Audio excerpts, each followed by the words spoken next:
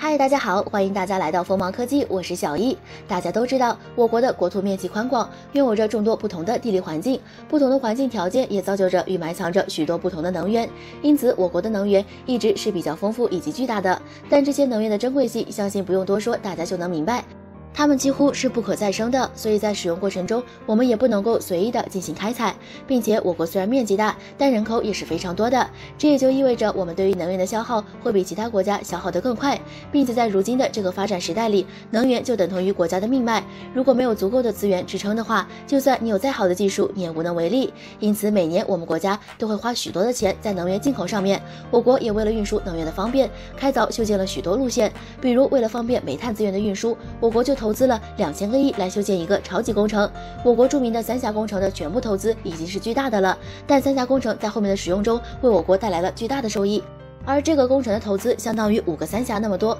是不是让你很惊叹呢？这项工程就是蒙华铁路，这条铁路可以说是我国最长的一条运煤专线，它的起点在内蒙古，终点到达江西，整条线路共长一千八百三十七公里，这条运煤专线按照设计，它的运输能力能够达到每年两亿吨的运输量。